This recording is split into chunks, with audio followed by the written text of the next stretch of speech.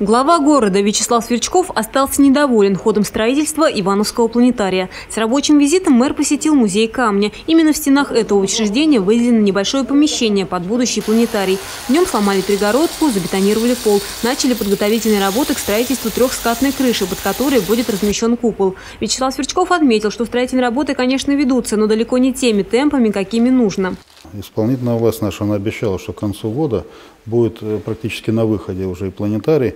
И вот сегодня мы видим, что как раз вот по планетарию основные там, может быть, работы и сделаны строительные, но отделочные даже не начинались. Поэтому мы сейчас, э, безусловно, э, проанализируем ситуацию, почему так произошло, да, и, безусловно, подумаем и с депутатским корпусом, и с главой администрации дополнительно выделим средства, потому что действительно обещанный планетарий, который мы обещали, там, может быть, к концу года, к началу следующего, безусловно, надо сделать. Из городского бюджета на реконструкцию музея камня уже выделено более 6 миллионов рублей. На эти средства заменили окна, отремонтировали систему отопления, выполнили отделочные работы на втором этаже.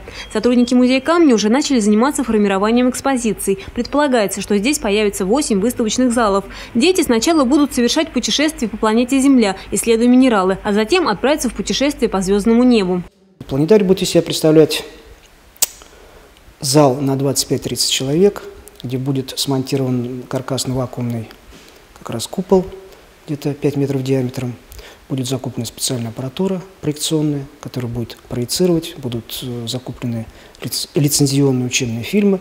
Естественно, что наши специалисты-астрономы будут для детей проводить учебные семинары и учебные занятия по астрономии.